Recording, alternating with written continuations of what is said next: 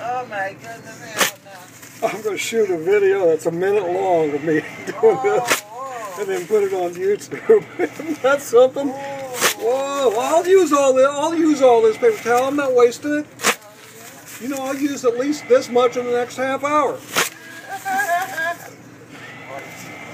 Right?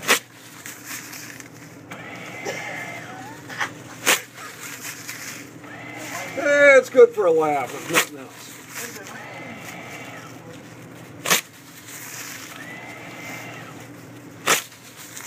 I am not afraid to waste paper towel for the sake of a good video.